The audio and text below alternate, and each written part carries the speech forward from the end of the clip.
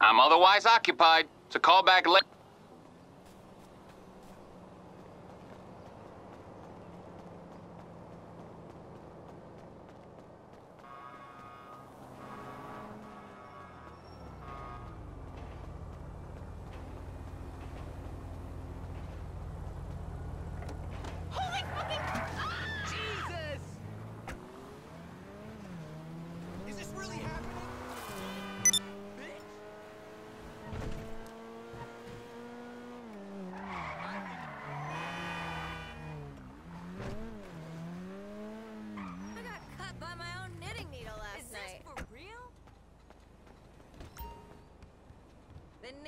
Circle was at my house this week too. I know. Usually we're knitting when that happens. We tend to use razor blades for the sacrifice. I probably don't need a tetanus shot, but I'm gonna go to the hospital just in case. I'll let you know how it goes.